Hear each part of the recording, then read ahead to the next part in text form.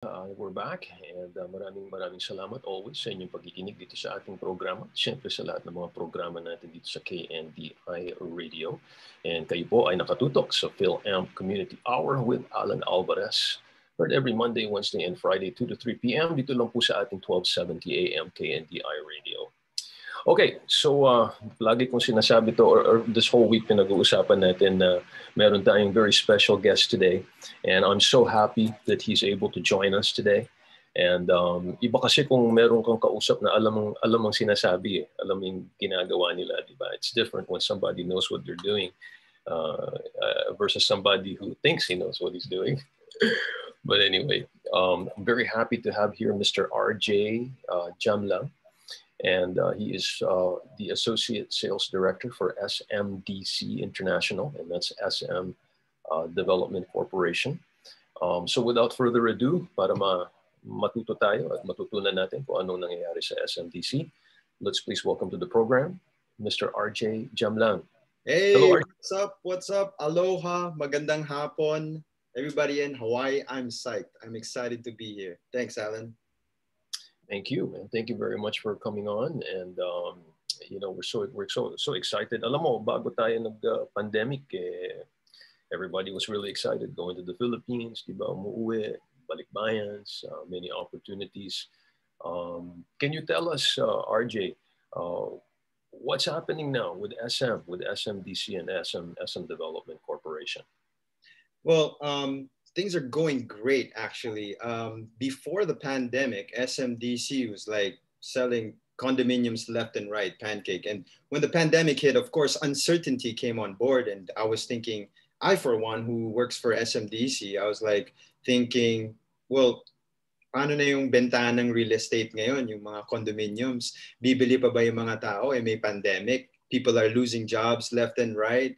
And um, I was proven wrong because currently the grass is still green. People are still buying. I mean, we closed the year. Allan, this is fresh off the off my plate here. Um, I got the sales for 2020 and uh, SMDC closed, my division alone closed around 48 billion pesos in 2020. That's around 4, 4 billion pesos a month. So for all you Hawaiians out there not more accustomed with US dollars, that's about 80 million US dollars per month of of uh, real estate properties. So pretty much nandyan pa yung ano, yung mga buyers natin nandyan pa. Uh, medyo nag-change lang ng konti as with everything else because of the pandemic. So, anong masasabi mo, JR, sa mga pinag-iisipan siguro na, you know, baka they were on the fence, di ba? Hindi sila, uh, you know, they were planning to invest or buy a, a property, SM man o hindi um, what do you have to say to those people, you know, as 2021 comes by, um, as far as investing in the Philippines? Well, I would give the same advice I would give to my family and friends. Siyempre, yung obvious na lang, ba? Common sense. If, um, if you're there and your current situation is shaky, like you don't know if you will still have a job, your contract is kind of pending, uh, you don't know the uncertainties of what the, the pandemic or quarantine the limitations that it will give, um, then yeah, definitely don't invest. I don't suggest it. But if you're pretty pretty stable, like you're in the medical field, um, you know, you're in logistics, yan yung mga malalakas ngayon eh.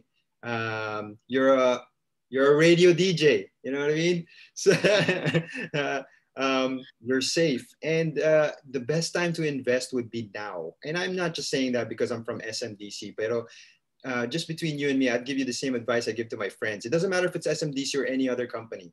Right now, ang daming mga promo, pare. Daming mga promo nilalabas ng mga real estate developers uh, to entice buyers to come in. So if you're there sitting there with disposable income of around 20,000 a month, man, you should definitely look into it.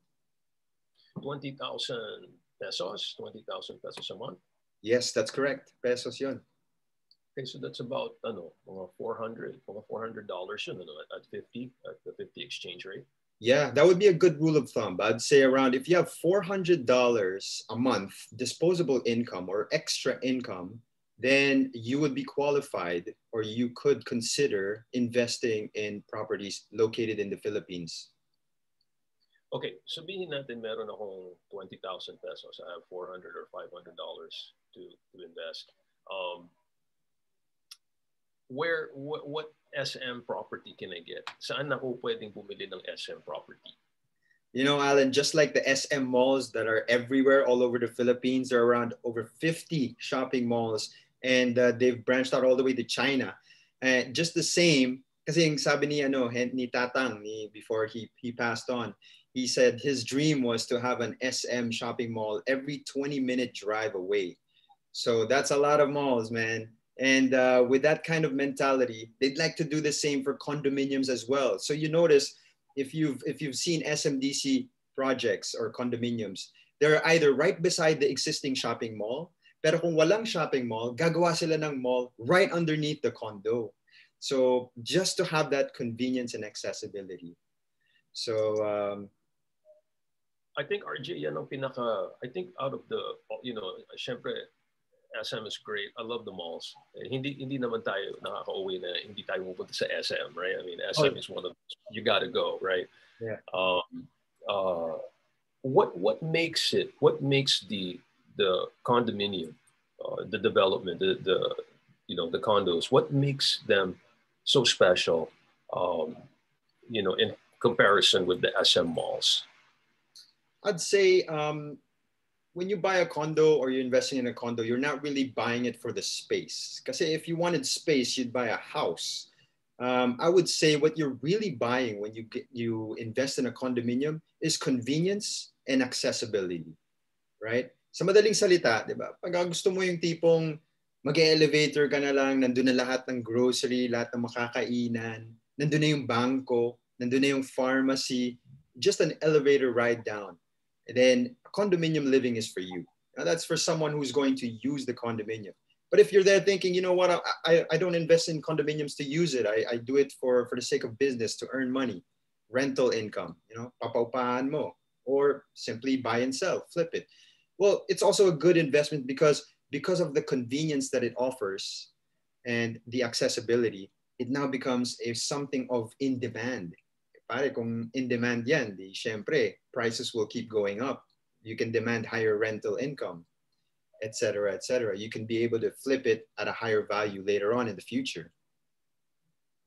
Okay, now uh, gusto ko sana JR i-share uh, RJ i-share mo yung kwent kinuwento mo sa akin nung isang araw. Uh, uh, you told me na uh, you have other condos uh, pero meron ka ring condo dyan sa SM Jazz. I think sinabi mo sa akin sa SM Jazz. Uh, pero nung tumama itong COVID, uh, you had a choice of you know staying in your other condo or this condo that SM the SM condo.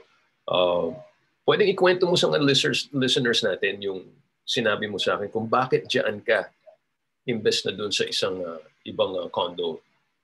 Yeah, um, I'm currently staying in. Actually, I'm broadcasting straight from Jazz Residences. I would love to show you my unit, man, but uh, it's not prepped up for unit viewing right now. But uh, uh, it's in Makati for those of you guys who don't know, uh, along Jupiter Street, Bel Air, yung barangay, yung area niya. Um, I currently live here, and as Allan said, I invested in another condominium at a different location. And now, you know, syempre bago siya, kaka-turnover lang.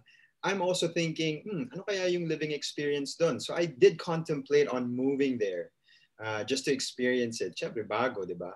However, walang uh, grocery sa baba nung condominium na yon. And uh, video ako, walang video doon. Video yung bank ko eh.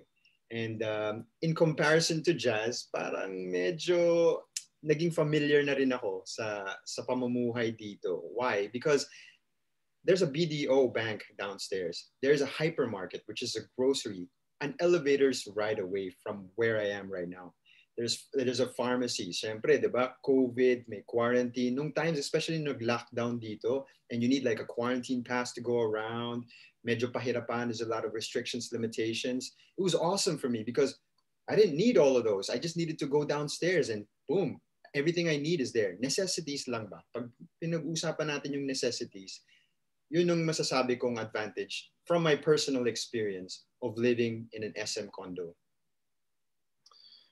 Wow, so ibig mong sabihin, hindi ka na kailangan lalabas, hindi ka kailangan kumuha ng mga permits, hindi ka kailangan mag, uh, you know, yeah. all, kasi that, all that sounds like a hassle to me, pare. And I think if I were if I were in your shoes, I would be doing the same thing. But if I have a condo, I just go to the elevator, go downstairs, get my groceries, oh yeah, pick up some money or pay the bills, and then go back up. Yeah, um, yeah, yeah. So would you say, pare, convenience is one of the big things that the SM Development Corporation can provide? Oh, definitely, most definitely. And um, it's a it's a one-two punch between convenience and accessibility. When we talk about accessibility naman, it's our access or uh, ang path natin papunta sa mga lugar na parati nating pinupuntahan. The places we frequent often, which in this case would probably be the office because it makes sense Mondays to Fridays, where do you go? Your office, right? So ideally, you'd like a property that is either walking distance to your office or gives uh, may skyway access right next door or it's right next to the, the, the, the highway so that mabilis ka lang makapunta sa office. And uh, I would say SMDC locations are prime in that regard. Yeah, so hindi lang convenient na nasa mall ka, convenient din na malapit ka kung saan ka nagtatrabaho. Oh yeah, definitely. Um, because uh, if you have one, isipin mo, imagine, Monday to Friday, you're close, you're living close to where your office is. Saturday to Sunday, saan ka pupunta? Malamang mall, tayo mga Pilipino, mall goers tayo, di ba? So if you have a property located uh, where it gives great accessibility to both the offices and the malls, then you got yourself a prime location, a location that's in demand. Regardless kung anong developer may hawak niyan, SM Bayan, Ayala, whatever, or you know, brand X, whatever you have. Uh, yun yung advice ko sa mga friends and family ko. Because yun yung mga condominiums na alam mo, either for use or for investment, tatagal siya at magiging in demand siya talaga as time goes by. Okay. Uh, so maraming uh, maraming uh, I've spoken to many people and um, syempre of course the SM is great, SM Development Corporation. Pero paano yun uh, sa, sa ating panahon ngayon? I know that maybe later uh, pag you know medyo kontrolado na yung COVID, um, uh, you know things will get better. But uh, how about you know in the immediate future? Let's say in the next few months, uh, paano kung let's say gustong mag-invest ng uh, or gustong bumili ng uh, condominium uh, can they do can they buy a condo here na hindi sila kailangang bumalik sa Pilipinas para magawa yung transaction because uh, you know RJ ang daming lumalabas na mga uh, orders di ba minsan it's okay next day it's not okay uh, things are changing all the time what do you have to say to those uh, to those who are in that situation? Yeah, that's a definite concern. You know, um, especially during these uncertain times. And what I have to say is, um, SMDC has uh, adapted to the online selling, meaning all transactions. If you'd like to reserve a unit, you can do everything online. Alam mo when we talk to our clients now, uh, email, email lang pare.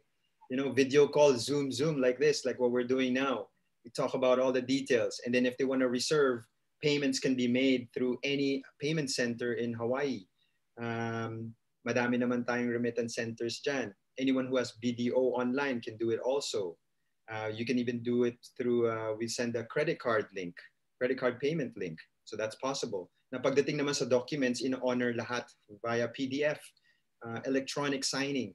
Uh, it's a new age and the direction of uh, uh, big boy henry Sy Jr is that digital is the wave of the future. Um, you know i was surprised alan because um, when this pandemic hit and we were forced into a lockdown here, here in the philippines uh, many of the developers were not able to adapt quick enough. And in fact um, uh, it was interesting enough to read this report based on um, Leechiu Properties. Leechiu Properties is a, a well-established brokerage firm here in the Philippines and they came out with a report starting March onwards.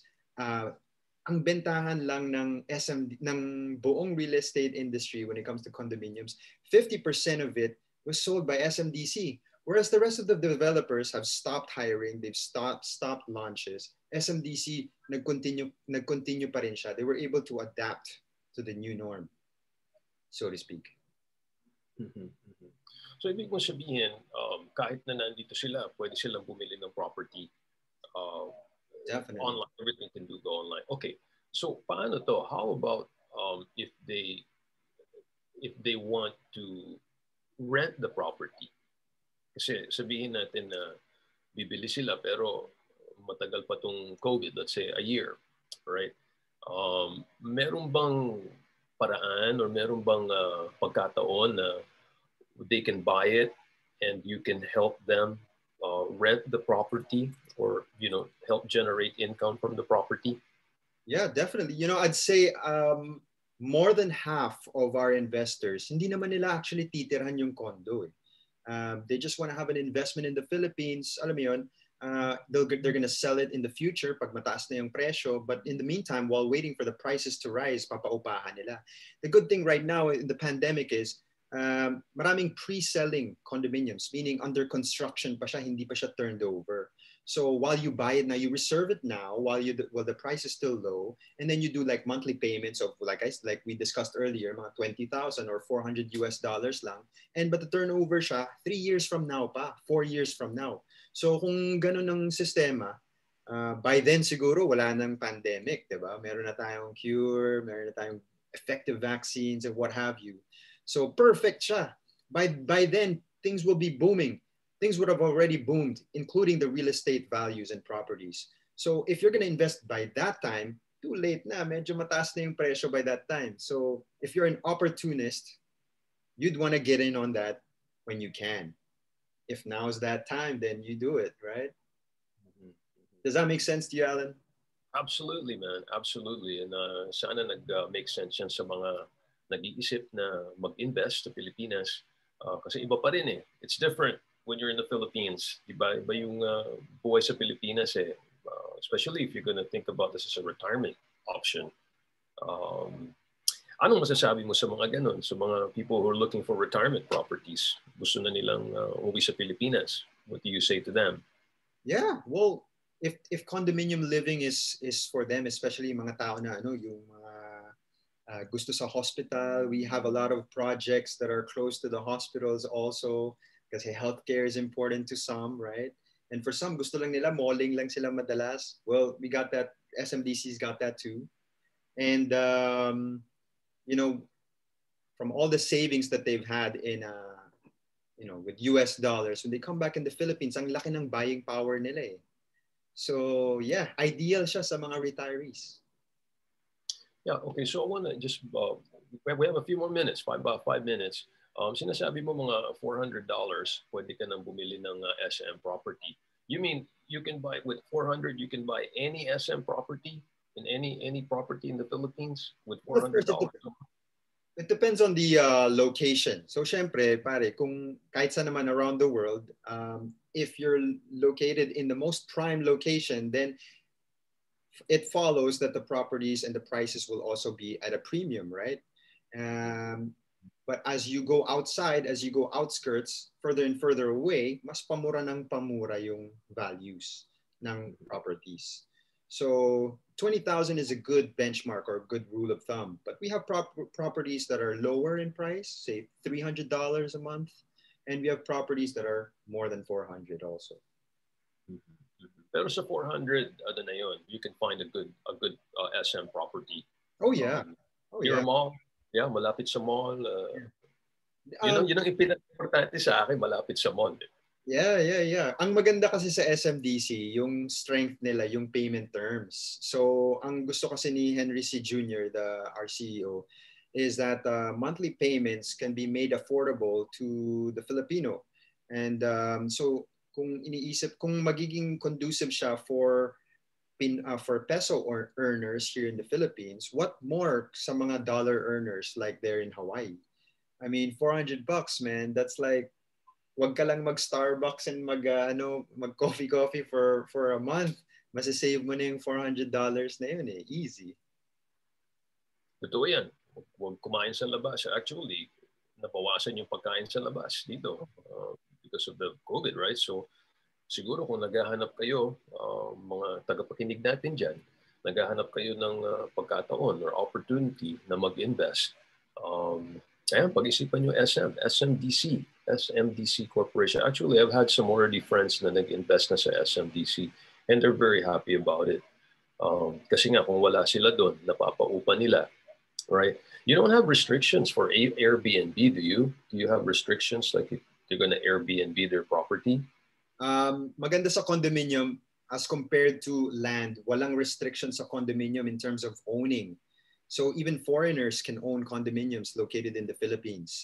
Now, as for leasing it out, wala ding restrictions. You can have it leased out um, long term or short term. Although, to be honest, I won't really suggest short term as of the moment because, you know, the hotel industry and Airbnbs, they're not really doing so well right now because of the situation, because of the virus.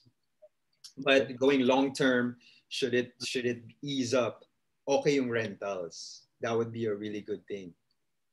Okay, all right, uh, RJ, we have a couple of more minutes. Um, anything else you want to say to our listeners?